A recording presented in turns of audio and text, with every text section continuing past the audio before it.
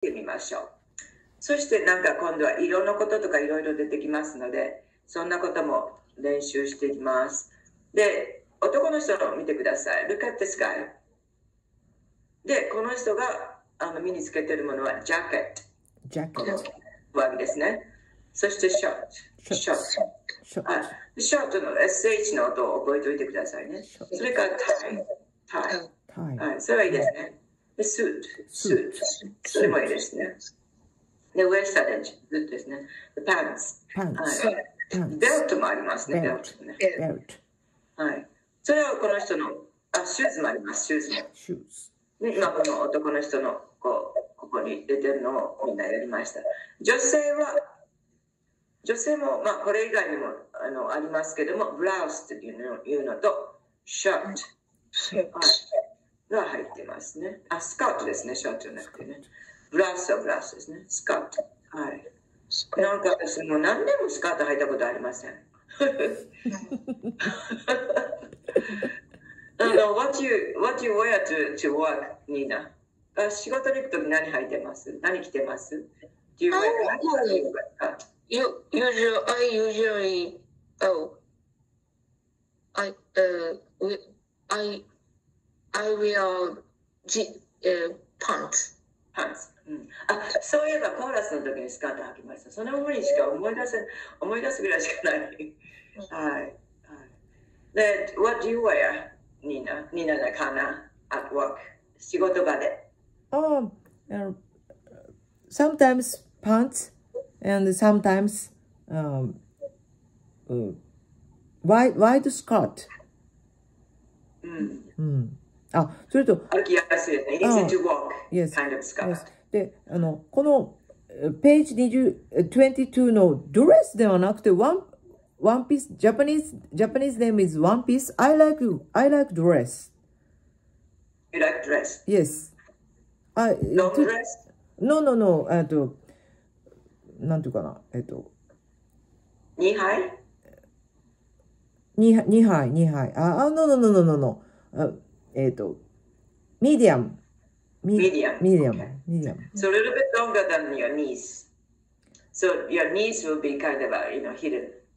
で、あの、膝、膝、膝小僧は隠れてるけど。Yes, yes. はい。OK。次見てください。黄色の、黄色のレインコート。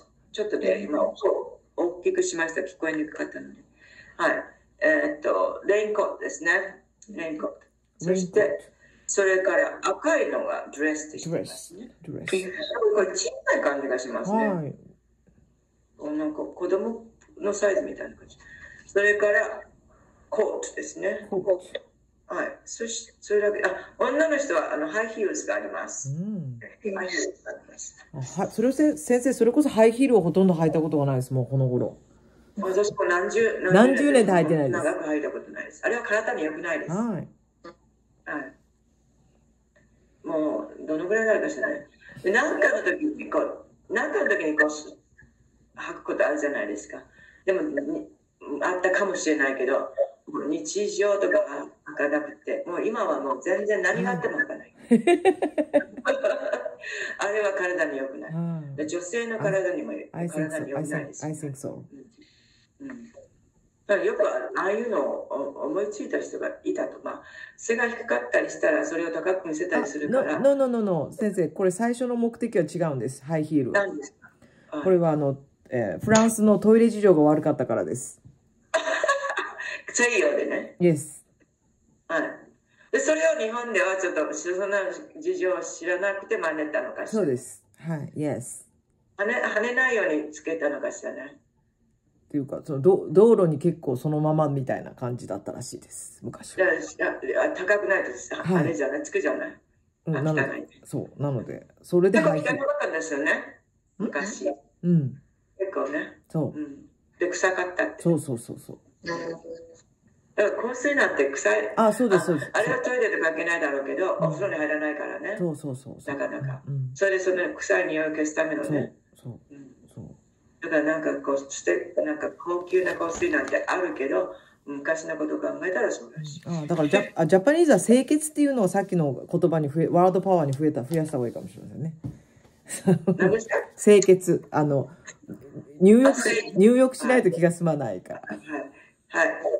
ありますね。それ、うん、これも見てください。次の、なんか若い人の。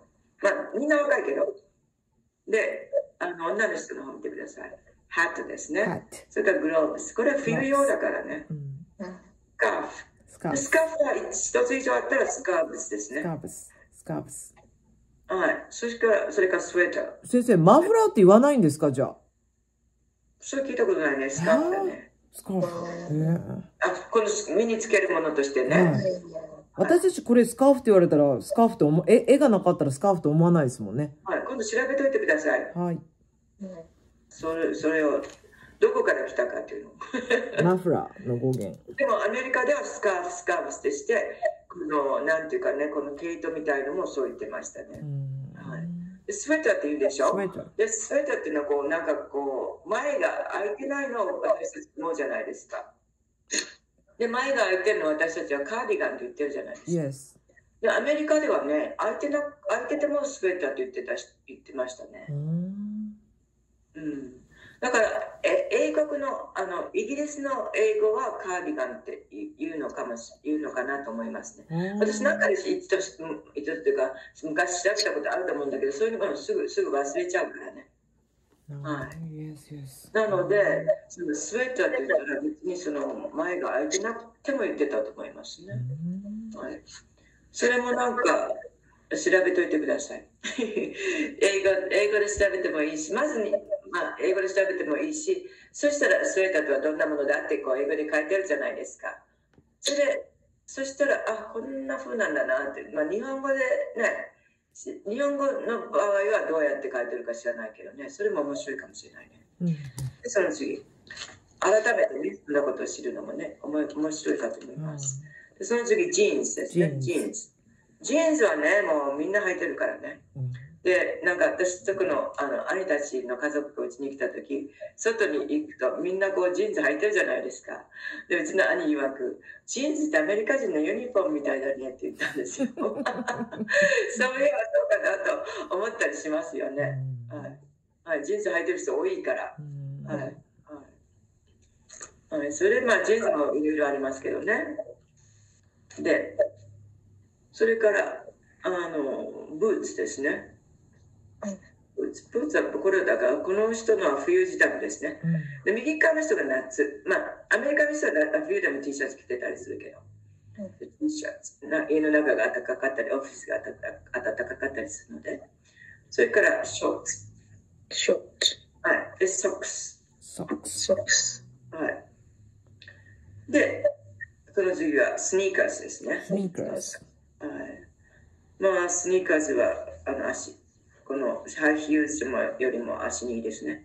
で、こっちの左側に swimsuits。swimsuits。スイムスーツ。はい。で、この帽子、キャップ。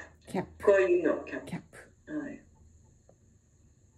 で、昔私があの英語を習った時、キャップっていうのはこんな感じで、で、ハッっていうのはこういうふうにこう周りにこうなんかある、うんうん、そういうのがハッって習ったんです。